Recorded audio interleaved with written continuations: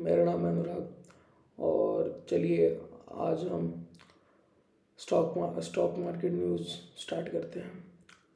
आज का पहला न्यूज़ है पीएम मोदी ने 5G लॉन्च किया इंडिया में, जो फ़र्स्ट फ़ेज़ में थर्टीन सिटीज़ में लागू होगा।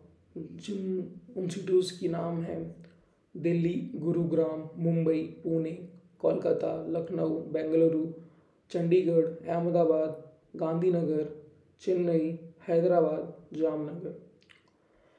इस मंथ के मतलब सितंबर मंथ के जीएसटी आंकड़े आ गए हैं और आंकड़े के मुताबिक 1.47 लाख करोड़ का कलेक्शन हुआ है, जो पिछले साल के मुकाबले 26 परसेंट ज़्यादा है, जो बहुत ही अच्छी बात है हमारे इकनॉमी के लिए।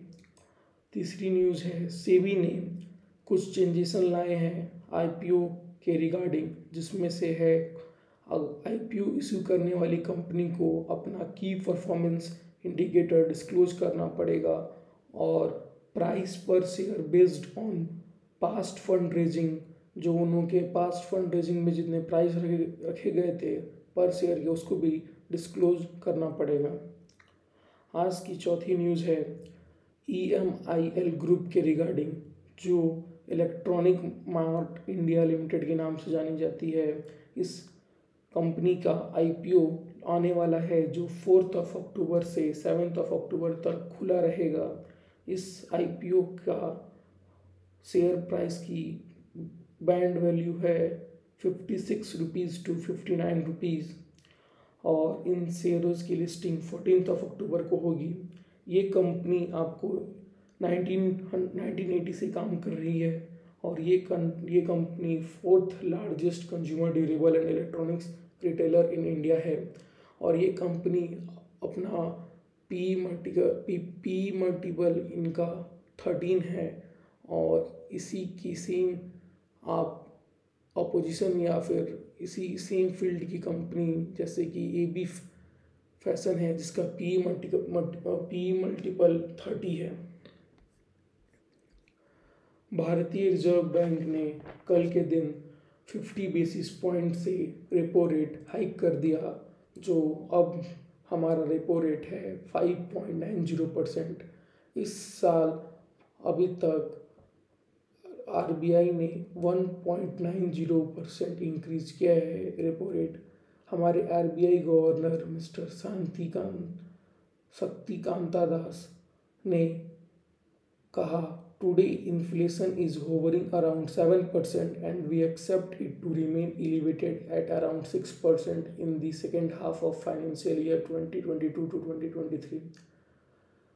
और आज की छठी न्यूज़ है औरकल कॉरपोरेशन के रिलेटेड जो आप देख सकते हैं लास्ट कुछ दिनों से लगातार गिर रही है उसकी मेन वजह है यूएस सिक्योरिटी और एक्सचेंज कमीशन के द्वारा की गई रिपोर्ट में ये बताया गया कि इन्होंने एक तरीके से घूस दिया है चार लाख करोड़, चार लाख सॉरी चार लाख डॉलर का to official from a company owned by Indian ministry of railways in 2019 वो ये जो घूस दिया गया था, ये यूनियन मिनिस्टर पीयूष गोयल के टेन्योर के समय की बात है।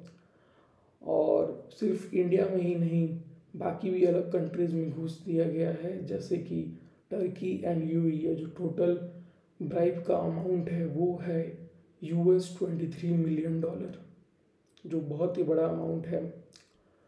आज की सातवीं न्यूज़ है ईडी e के रिलेटेड हमारे ईडी e कमीशन ने ऑक्टा एफएक्स के ट्रेडिंग बैंक बैलेंस को फ्रीज कर लिया, जो twenty one point one four crore था under the foreign exchange management act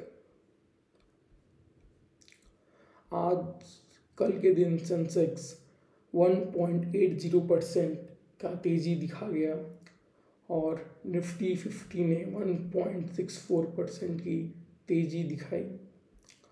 लेकिन इन सबसे तेज़ निफ्टी बैंक था, जिसमें 2.61 परसेंट का तेज़ी रहा। कल के दिन का top gainer Adani green energy था, जिसमें 12.44 परसेंट का भारी बड़ी भारी गेन मिला। और कल के दिन का सबसे बड़ा लूज़र या फिर सबसे गिरा हुआ स्टॉक था इंद्रप्रस्था गैस लिमिटेड जो लगभग पाँच परसेंट फॉल हुआ। डाउ जोन्स कल के दिन 1.71 परसेंट टूटा। इंदौर को छठवीं बार इंडिया का क्लीनेस्ट सिटी का अवार्ड मिला। अगर आपको ये वीडियो इन्फॉर्मेटिव लगा हो तो प्लीज़ लाइक करिए शेयर करिए सब्सक्राइब करिए। आपको इनमें से कोई भी टॉपिक पे अगर डिटेल वीडियो चाहिए तो मुझे प्लीज़ कमेंट करिए। Thank you